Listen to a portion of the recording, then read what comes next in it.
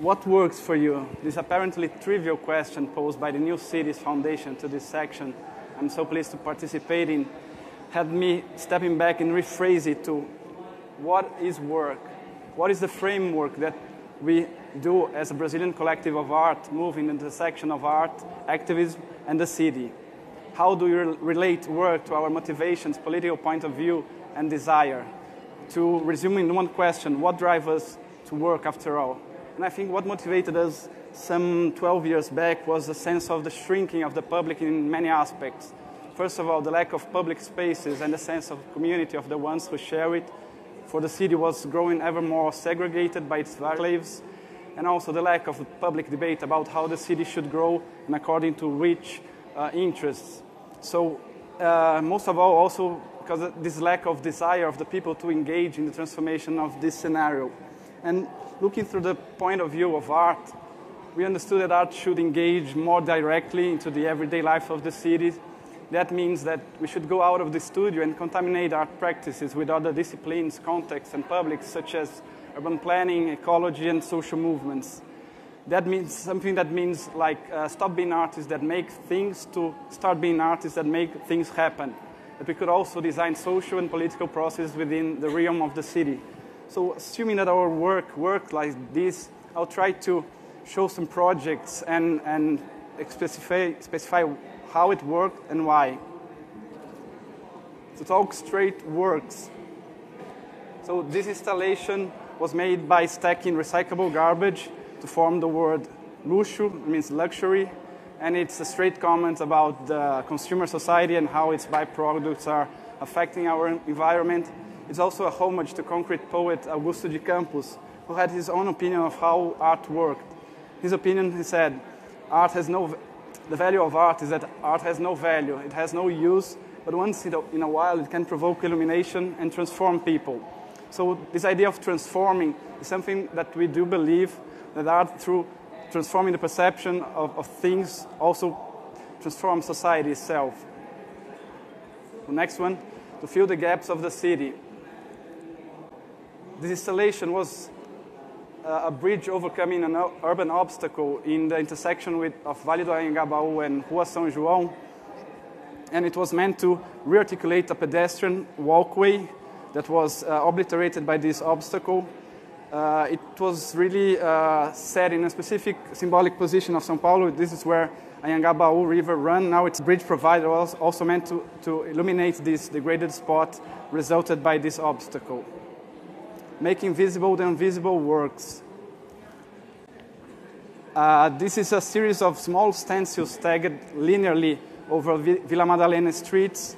Uh, they were meant to recall the existence of Rio Verde riverbed a river also blocked by the city growth, which shows our conflictual relation towards rivers in São Paulo.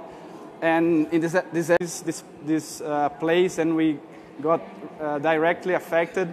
And we are also supporting a project that will renovate this area by trying to regain the permeability of the soil and create a more direct relation between community and the natural resources. This project will, you'll be able to see in some of the site visits on Thursday networks. Uh, networks demand a mix of organization, debate, and also joy.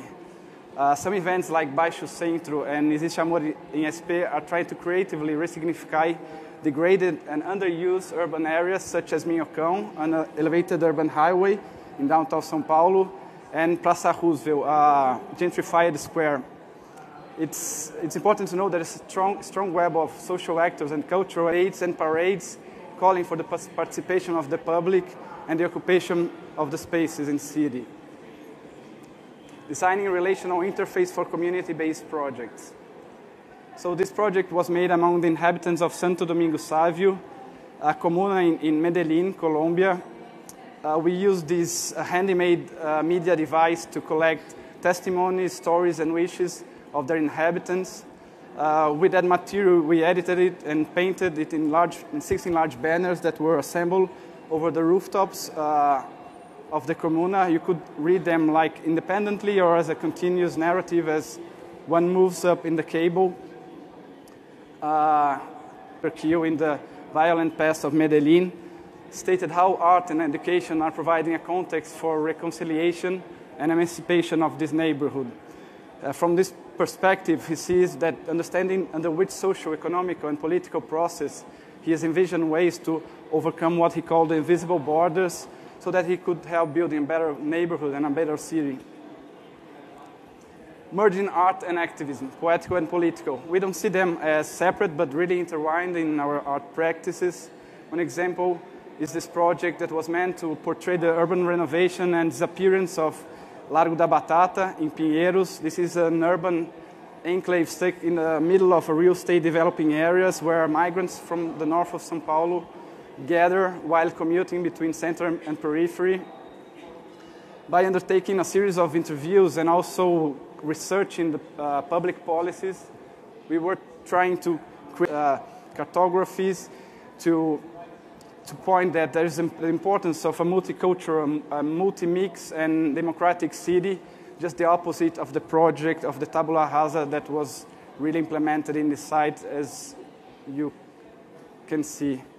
Conflict is a creative tool that works. Yeah, we are really interested in conflict and the private situations in which people, through improvisation, can are able to move forward. And the next project also deal with conflict uh, context, uh, specific, specifically the uh, repression against homelessness and, and, informality in downtown Sao Paulo 2004 uh, at the clash of low tolerance policies. This installation is a kind of nomad multimedia screening that was moving towards the center of Sao Paulo, collecting stories and specifically relating to, to those conflicts and those clashes uh, each of these uh, shows are different because they were uh, really open to the interaction of the public, so each one was different from the other. Symbolic gestures can be powerful. Uh, the Green Car Project uh, was kind of uh, appropriating left cars in the street by transforming them into small gardens.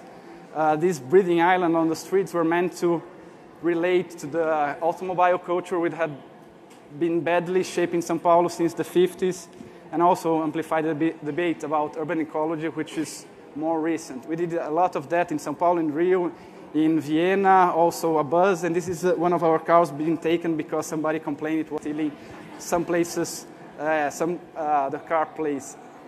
Recycling the city works good. And this is the last project. Well, when the, the city of Sao Paulo got rid of, of its outdoors, Bijari, in collaboration with architect José Subero, had an idea while observing these suddenly useless monuments of the city. We saw trunks and trees where there were tons of stills, and we imagined how cool it would be to occupy these uh, empty spaces with nature as a symbolic gesture of occupying a place where, that hosted a visual pollution and obliterated our architecture. And well, just to wrap up, I would say that none of these initiatives work alone, but as long as they are constantly reframed, reenacted, and transformed in relation to the emerging and, and moving contexts and publics.